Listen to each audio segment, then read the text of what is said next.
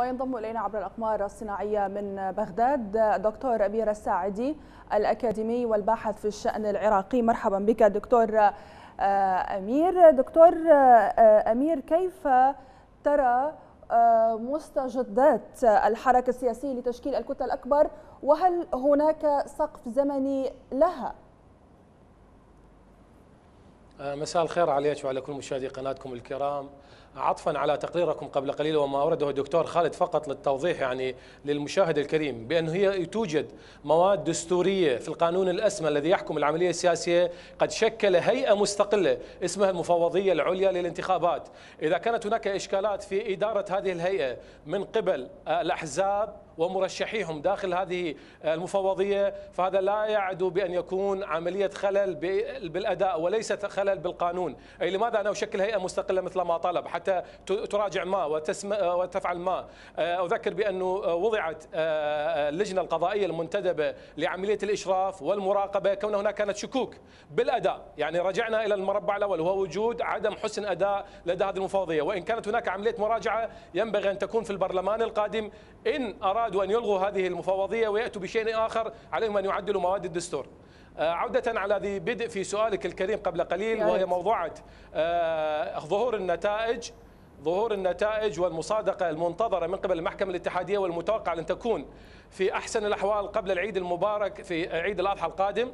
لكن إن احتدم الصراع والتنافس بين الكتل والأحزاب ستؤخر المحكمة الاتحادية عملية المصادقة إلى حين الوصول. لأن إذا صادقت المحكمة الاتحادية على نتائج الانتخابات لن يكون مفر أمام الكتل والأحزاب السياسية إلا 15 يوما ليدعو رئيس الجمهورية الحالي السيد فؤاد معصوم. الكتلة الكتل والأحزاب الفائزة لعقد جلسه كبير السن وبالتالي سيكون الزام عليها إظهار أوراقها بتسمية الكتلة الأكثر عددا داخل مجلس النواب لتسمية اولا رئيس مجلس الوزراء ثم فيما بعد رئيس مجلس النواب ورئيس الحكومة نعم. عفوا رئيس الجمهورية وعودة على محور السؤال نفسه أذكر بأن الكتلة اليوم الأكثر اتساقا مع دفع العملية السياسية نحو تشكيل البرلمان والكتلة الأكثر عددا هي كانت المحور الوطني بالتشكيل الأخير، يعني الدعوة وان كانت هي لم تكتمل صورتها. ويعني أنا أراها بأن ما زالت لحد الآن مشتتة بطرح اسم مرشحين، لكن هي كانت الأفضل بتحفيز، يعني أنا ارى هكذا ستحفز البيت الشيعي بركائز الخمسة الفائزة بالانتخابات وكذا أيضا البيت الكردي الذي لم يظهر لحد الساعة إلا الحزبين الرئيسيين، أي لم نسمع من الأحزاب التي عارضت الحزبين الرئيسيين عن تشكيل تحالف أو تقارب فيما بينما حتى تأتي لبغداد أو تذهب مع الكتل أو البيت السني حتى تأتلف ويمكن أن تشكل رقما صعبا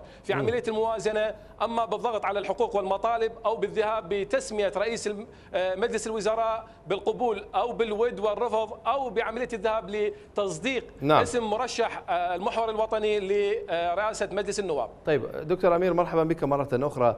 يعني ربما الاتفاقات ليست واضحة إلى هذه اللحظة وحتى التفاهمات ربما نكث بها من قبل المتحالفون والمتفقون عليها. لكن برأيك من هي الشخصية الأكثر حظا لتولي حقيبة الوزارة لهذه المرحلة؟ لنكن ذو مصداقية أمام المشاهد الكريم. لحد هذه الساعة لم يطلق من الكتلة التي يمكن أن تشكل الكتلة الأكثر عددا. إن كان التحالف يعني فيما يسمى تحالف النصر سائرون ومن معه من الحكمة والوطنية أو تحالف الفتح ودولة القانون ومعه من باقي الكتل التي يمكن أن تجتمع معه بتسمية شخص رسمي لتحالف حقيقي. ما زالت هي عبارة عن تفاهمات. والشخص المرشح الرسمي لتحالف البيت الشيعي هو فقط السيد العبادي والسيد هادي العامري أي لم نسمع عن مرشحين آخرين يمكن الآن أن نفاوض حولهم مع وجود العقدة التي وضعت من قبل السيد الصدر. اولا بموضوعه الشرط 40 نعم. شرط 40 شرط وضعها في مجمل بي... أحسنت. والأمر الآخر هو موضوعة البيان التحذيري الأخير الذي اصدره بإعطاء مدة 15 يوما. إن لم يكن هناك إصلاح بالعملية السياسية سينتقل إلى المعارضة السلمية وعملية طيب. تحريك الشارع. طيب من هنا دكتور؟ سنصل إلى مفترق طرق. نعم من هنا دكتور؟ يعني ربما المحاصصة التي ابتلينا بها نحن كعراقيين يعني أثرت حتى على المفوضية المستقلة للانتخابات بحيث أصبحت مفوضية الأحزاب وهذا لا يخفى على أحد. بالتالي حتى المناصب لا زالت إلى هذه اللحظة يعني مناصب تحاصصية. رئاسة الوزراء للشيعة رئاسة البرلمان للسنة رئاسة الحكومة رئاسة الدولة رئيس الدولة هو للكرد. ماذا سيتغير في يعني الحكومة القادمة إذا ما بقينا على نفس الحالة التحاصصية؟ اولا حتى مع الجهود الحثيثه لكتلة سائرون بعملية الدفع بتغيير شكل المحاصصة مع ذكر الجميع. أذكر ذكر جميع الكتل والاحزاب بانها تريد أن تغادر أو هي عابرة للطائفية وتحاول كسر حاجز المحاصصة إلا أنها لم تستطع لأن أصبح لدينا عرفا سياسيا من بعد عام 2003 وهو شكل لبننه العراق. أي جعل العراق بصورة آه، لبنان في توزيع رئاسات الثلاثة. كل منصب رئاسي إلى آه، كتلة من المجتمع العراقي وإلى توجه محدد وللأسف أقول حتى مع دفعنا بعملية الإصلاح لن نستطيع أن نغادر على الأقل التقدير في هذه المرحلة، موضوعة ان لا يبدو هذا التحاصص بشكل الطائفي والسياسي نعم. في مشروع تشكيل الحكومة القادمة، لكن ممكن تغييره في شكل الوزارة أي شكل أعضاء هذه الوزارة كأفراد كأعضاء منتسبين للحكومة حتى مع الحاح السيد الصدر على ان يكون مستقلا من خارج مجلس النواب، ليس لديه أجندات خارجية، لا يمتلك م. جنسية ثانية، كل هذه الأمور قد تكون في بعض الأحيان صعبة ليحتاج إلى عملية تنازل وتقارب نعم. أي من قبل الشروط السيد الصدر دكتور مع السعدي. الكتلة التي الآن لديها مرشح معتدل. نعم دكتور السعدي آه، عفوا على المقاطعة. ذكرت انه هادي العامري ودكتور حيدر العبادي ربما المرشحان الأبرز لاستلام رئاسة الوزراء المقبلة. آه، هناك حديث عن ربما تقديم البرنامج الحكومي على تسمية آه، رئيس الوزراء. هل يمكن تطبيق ذلك؟ طبعا حتى نكون أكثر جدية بطرحنا أذكر بأنه أغلب الكتل والأحزاب السياسية كانت لديها برامج قبل الانتخابات. وهذه البرامج تم تحسينها للتقارب مع الكتل والأحزاب السياسية الأخرى. أي ماذا استجد في برنامج الفتح ولا يستجد في برنامج آه، آه، آه، مثل تحالف النصر؟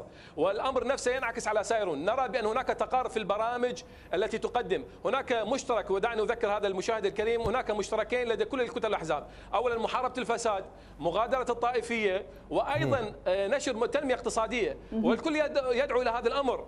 وبالتالي لم نرى أي حيز للتطبيق على هذا الموضوع فيما يبدو بأن الخصام ما زال لحد الآن هو باختيار المسميات وليس فقط باختيار البرامج. نعم هناك حصة للبرامج لكن ما زال الصراع أذكر بهذه الكلمة وهي عملية تنافس سياسي كبير ومحتدم لحد هذه الساعة على موضوع المسميات لهذه الرئاسات. يعني أنا وجهت دعوة اليوم إلى السيد الصدر حتى يفك هذا الاشتباك بين الكتلة الأكثر قربا يعني مع وجود هذا التقارب لأنه ما زال لحد الآن لديه عقدة في كتلة دولة القانون. يعني لما يتقارب مع الفتح لوجود القانون أو بعض المسميات الحزبية داخل هذه التحالف. لكن ممكن أن يتقارب مع النصر لكنه لم يتقارب لوجود هذه الشروط. يمكن أن يقدم الآن تنازل أو يقدم مرشح يتطابق مع آه، الشروط التي نعم. أطلقها والبيان الأخير الذي أصدره ويقدم كمنافس لمرشحي آه، تحالف آه، البيت الشيعي وهو السيد العبادي والسيد هادي العامري. حتى نرى من هو لديه الارجحيه وكيف تتطابق البرامج والأسماء.